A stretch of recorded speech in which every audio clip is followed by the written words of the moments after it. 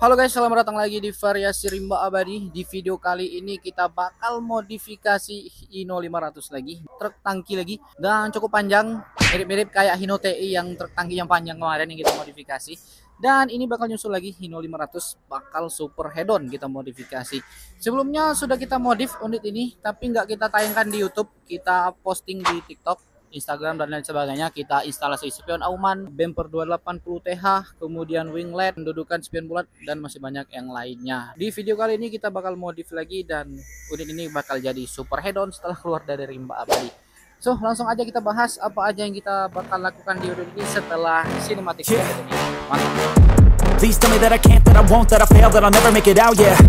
Please tell me all the bad, never good. Fill my head full of every single doubt, yeah. Please say any negative thoughts. I pop off when I hear people say I cannot. I get off to the thought of proving everyone wrong. I won't stop to the top, so you better back off again. Oke okay, teman-teman variasi rimba abadi Di sini sudah ada bumper lama dari Ino 500 ini Dan juga ada tambahan bumper seri 350 TH yang bakal kita instalasi.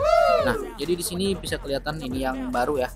Bagian bumper support, grill, pipi grill tengah dan juga pipi lagi dan bumper support. Ini untuk yang sudah kita instalasi bumper 280 TH nah jadi garapan kita bakal upgrade bumper dan tentunya kalau sudah di upgrade ini bakal kita instalasi hidrolik manual di sana lagi di prepare tim kita untuk instalasinya. Langsung aja coba kita lihat. Oke jadi di sini bagian bumper tadi sana sudah dicopot dan rangka juga sudah turun. Ini rangka bumpernya. Pokoknya sudah diturunkan dan di bagian step ini sudah dipotong karena bagian step ini juga bakal kita pasangkan seri 350 TH nah tentunya bakal hidrolik juga makanya dari itu kita potong ini karena bakal turun posisi bagian rangka full stepnya ini rangka bumper sudah turun ini sudah dicopot semua bautnya tinggal naik ke hidrolik manualnya aja.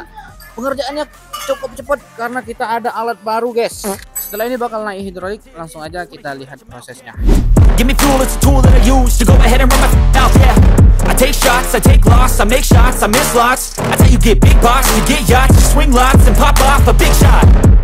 ain't done chasing Got big dreams, bigger things, impatient. Who's at the top think they need replacement? Who's at the top think I'm gonna erase them? Face it, I don't give up quick, I don't give up I won't give up this. Cause I know that I want it, know that I'm on it I'll make it, I promise.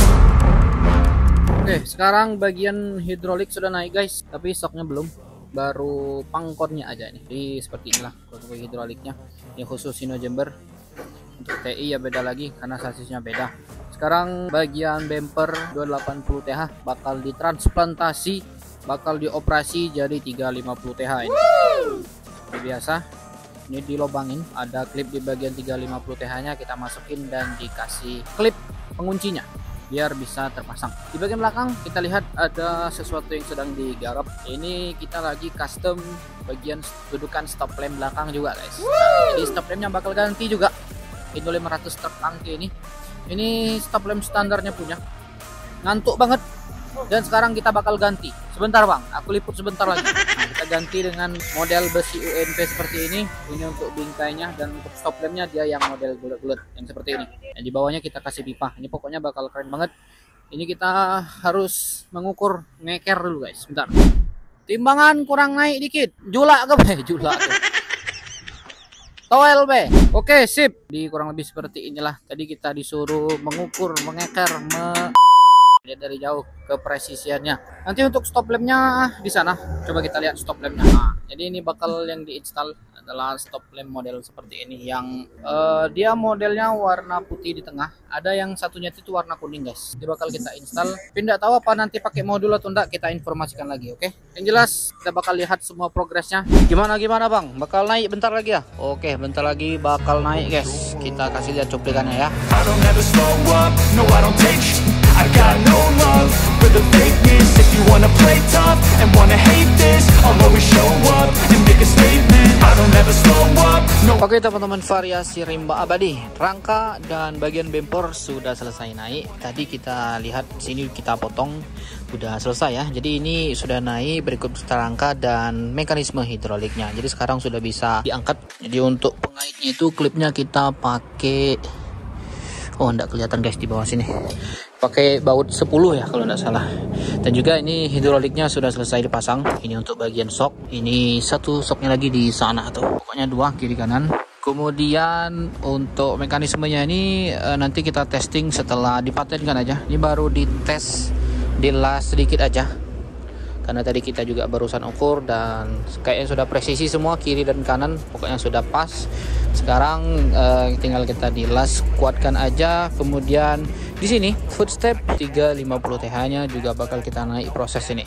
Bagian tulang tiketnya sudah dipotong dari standarannya. Kemudian dari ujung sana juga ya di ujung sana tuh udah dipotong. Kita turunkan agak turunkan sedikit juga. Karena biar kita bisa instalasi step 350 TH ini nah teman-teman di bagian belakang top lampnya sudah selesai di custom ini ya ini ada semacam plat strip di sini berfungsi sebagai tatakan plat nomor nanti. Jadi plat nomornya di sini. Ini agak keren juga dia model kayak gini ya guys ya. Ini udah selesai, tinggal naik proses dempul aja. Sudah kuat juga alasannya ini. Paten punya pokoknya. Bagian stop lamp, uh, dudukan stop lamp katakanlah selesai, tinggal naik proses pendempulan. Tinggal kita ikuti proses uh, finishing bagian bumper dan juga instalasi footstep 350 TH bagian kiri maupun bagian kanannya oke okay?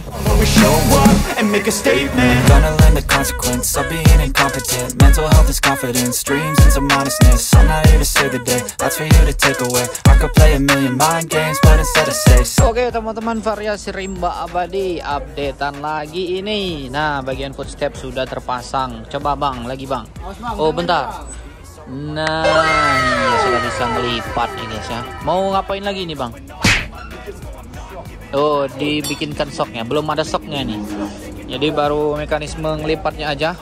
Masih belum ada soknya. Nah, ini di bagian sebelah kanannya juga. Tinggal tambah sok aja.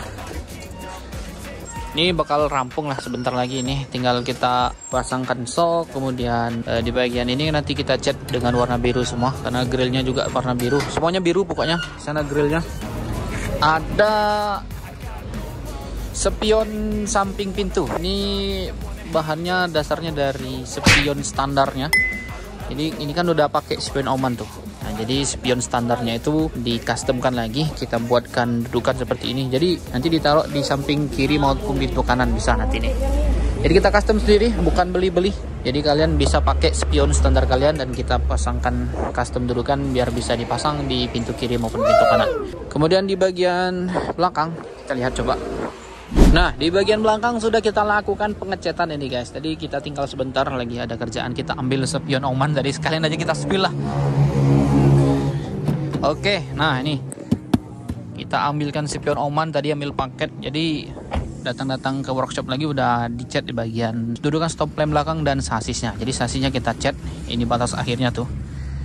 Sampai ke belakang warna putih semua berikut berserta dudukan stop lamp belakangnya rapi ya jadi warna putih semua di bagian belakang ini. Jadi setelah ini kita bakal lihat updatean footstep tadi. Tinggal instalasi sok dan kita coba testing begitu soknya sudah selesai dipasang.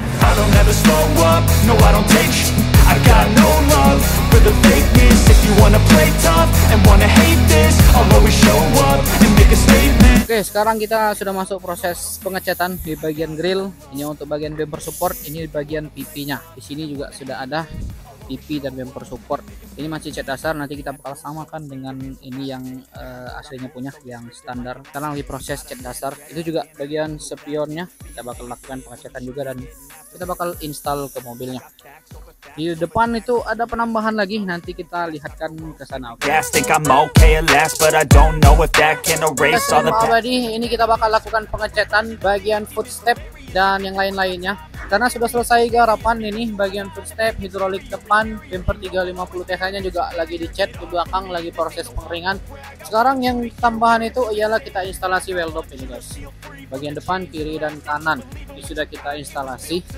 Ini posisi terangkat ya. Ini kita turunkan.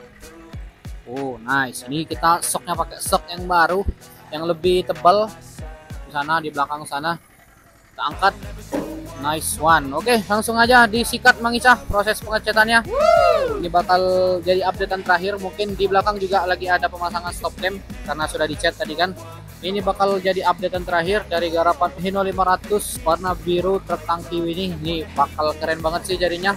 Tentunya kalian juga penasaran bagaimana hasil akhir modifikasinya. Maka dari itu kalian stay tune saja di channel Varia Rimba Abadi kita bakal lihat hasil akhir modifikasinya setelah sinematik berikut ini. Mind Mantap.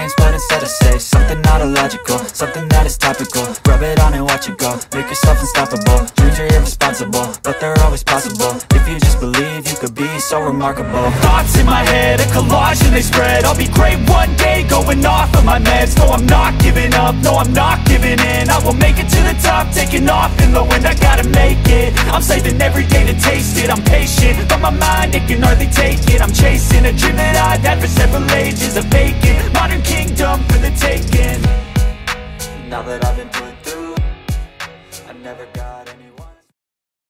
Oke teman-teman variasi rimba abadi. Nah jadi kurang lebih seperti ini hasil akhir modifikasi yang sudah kita lakukan di unit Hino 500 truk tangki warna biru ini dan hasilnya mantap betul ya guys ya jadi langsung aja tanpa berlama-lama mari kita bahas unit ini itu sebelum-sebelumnya juga sudah pernah kita modifikasi ya guys ya dan modifikasinya juga cukup banyak dan sekarang jadi titik super hedon ya jadi unit ini itu berangsur-angsur modifikasinya mulai waktu itu kita upgrade bumper ke 280 TH, winglet model sirip, spion auman dan aksesoris-aksesoris lainnya. Dan sekarang masuk lagi variasi rimba abadi dan unitnya jadi lebih hedon daripada sebelumnya. Langsung aja kita bahas. Garapan yang kita lakukan, kita instalasi tambahan bumper untuk 350 TH seperti biasa di bagian atas dan tentunya ini sudah hidrolik manual. Kita coba testing angkat hidrolik manualnya. Nice one. Mudah banget kalian mau ngangkatnya itu hidrolik manual.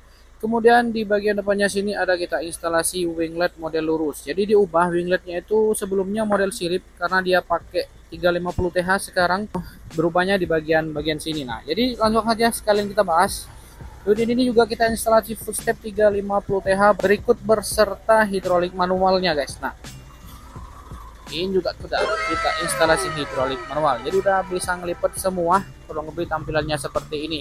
Jadi fungsi dari kita ganti winglet tuh eh, ada di bagian sini ya. Jadi dia harus model lurus. Bisa sih sebenarnya kalau mau model yang sirip tapi harus ada penyesuaian dari stok kita ini. Ini ya jadi dan kanan sudah kita instalasi hidrolik manual untuk bagian footstep dan yang lainnya. Untuk bagian step itu bisa terlihat agak belang ya warnanya karena dia pakai eh, request dari ownernya mau dipakein step yang lama aja. Jadi biar sedikit menghemat budget lah ya guys ya. Dan overall tampilan jadi seperti ini di bagian depan dan tampak sampingnya. Ada juga yang kita sentuh di bagian belakang kita lihat. Ini panjang betul ya guys ya.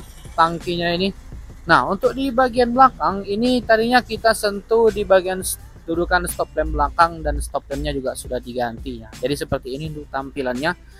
Stop lampnya model bulat-bulat seperti ini. Ini untuk bagian apa ini namanya tuh frame-nya kita gunain stainless dan ini ada besi strip dan untuk ini kita pakai UNP dan ada pipa di bawahnya dan kita sudah cat juga dengan warna putih.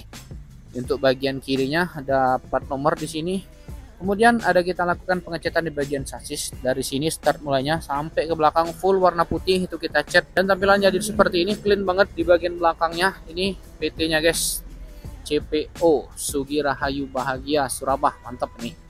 Ini head-on head-on semua unit-unit yang dari sini itu biasanya guys. Selanjutnya di bagian samping yakni ada di bagian roda. Ini di bagian depan ini rodanya kita instalasi welded Adiputro model lubang 20 seperti ini dan ya itulah garapan yang kita lakukan di unit Hino 500 truk tangki warna putih ini. Tampilannya jadi keren banget ya guys ya. Uh, sebelumnya itu ya 280 TH seperti ini. Sebelum. Sekarang sudah jadi keren seperti ini. Dan beginilah hasil akhir modifikasinya. Bagaimana menurut kalian? Kalian tinggal komen saja di kolom komentar. Sekian saja untuk video kali ini. Like jika kalian suka videonya. Jangan lupa subscribe. Jangan lupa share. Kita bakal ketemu lagi di video selanjutnya. And see you in the next video guys